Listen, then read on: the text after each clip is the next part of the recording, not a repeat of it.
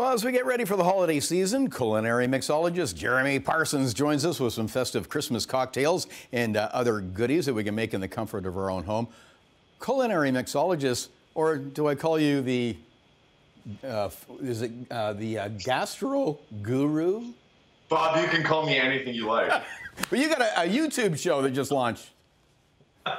it is. It's the Gastro Guru. So I've got my Amazon Prime show, but during COVID we can't travel, so I'm doing it on YouTube right now. Okay, we'll check that out. Thank you.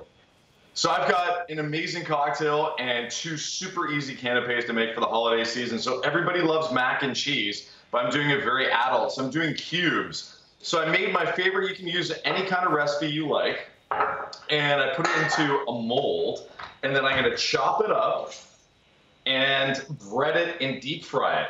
So it's a nice little cube. It's bite size. You drop it into a cool egg mixture, a little bit of breadcrumbs, toss it into your deep fryer or just like a nice heavy skillet that can uh, handle some high heat and drop it into your deep fryer.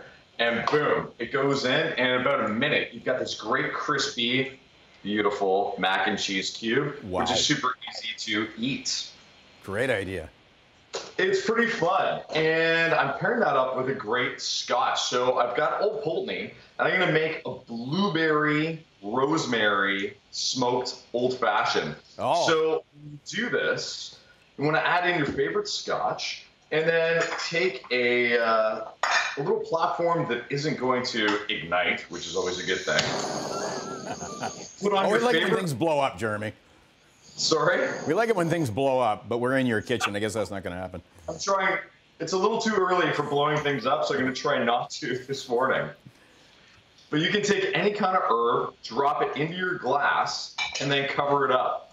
So what this is going to do is not heat up your glass, but it's actually going to smoke the cocktail and you're going to get all those great flavors of your favorite herbs. So whether it's rosemary or basil or oregano, you can do all of that. That's a great little And then I've got a simple syrup of blueberry that I made. I'm going to pour that in, a little bit of bitters, and then we always look for umami, that great term of balance.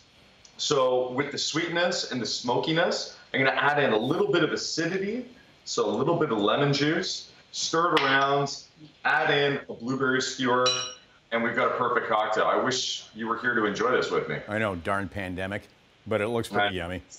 Sorry about that. and look at that. We've got our beautiful cube, and it's perfect golden brown. And it's great bite size, so which is awesome. Whenever you're having people over, and I know we can't have that many people over, but it's nice to be able to have them separated, so we're not sharing plates. You can just pick it up and bite, and everything is cool. Yeah, those would be a huge hit. Sorry? Those would be a huge hit. They are, and they're super tasty. And the great thing is, you can use any kind of blend of cheese. You can add herbs to the crust. It's just super fun, and it's great to also do with your kids. Now, where, where can we? We're going to post this at chch.com, but is there somewhere we can go to for the recipe? Absolutely. So if you go onto YouTube and you just type in the words "the Gastro Guru," you're going to see all of my uh, shows on there, and the full recipe comes up, and all the directions as well. Okay. So the second one, everybody's seen me wrap figs, but you know what? Here's the trick. So in a pan, you want to have a little bit of balsamic and your favorite spirit.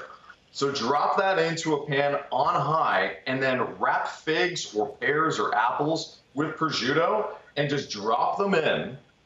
And literally within 45 seconds, it caramelizes and it gets this great little canapé. Again, it's just a simple one biter. It's beautiful. You got the fruit, the sweetness, the saltiness of the prosciutto, and then you've got that great balsamic and whatever spirit you're going to be serving. So you get that perfect pairing all the time, which is what everybody's looking for.